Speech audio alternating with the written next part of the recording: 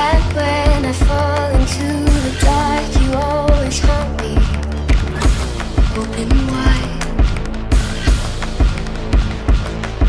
But who are we to call each other?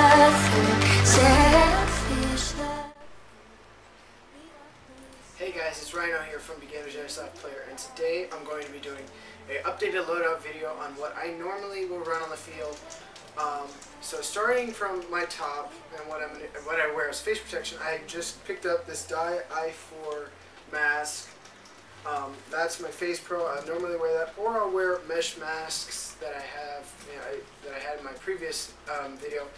On my head, under this, I have my GNGB, courtesy of Legendary Airsoft. And then going on to my plate carrier, I have a DEF CON JPC plate carrier. It's really nice. I love this thing. I have KWA mags. Um, I also run on it. I have my Baofeng um, radio, and I have a one-point sling on it. Then I have my Condor battle belts that I run. Love this thing to death. I have a tactical, a tactical holster that holds my Walther P99 sidearm. Uh, over here I have Velcro mag pouches that I also hold two extra mags. On my back I have my dump pouch and my hydro pack. Always gotta stay hydrated. And then for what I am wearing, I have a Voodoo Tactical um, Ranger Green top. Um, and then on my bottom I have Airsplat uh, multicam pants. And I wear just normal combat boots.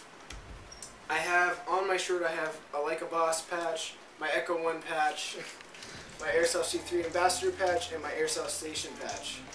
So, um, with my weapons, I have my KWA M4 Carbine Mod 1 with a red dot on it, along with a mag, an Elite Force um, mid-cap mag with Magpul quick, quick release. And then, like I said before, my sidearm is a Walther P99 pistol. So, hope you guys enjoyed this updated loadout video. I'm Rhino for Beginners Airsoft Player.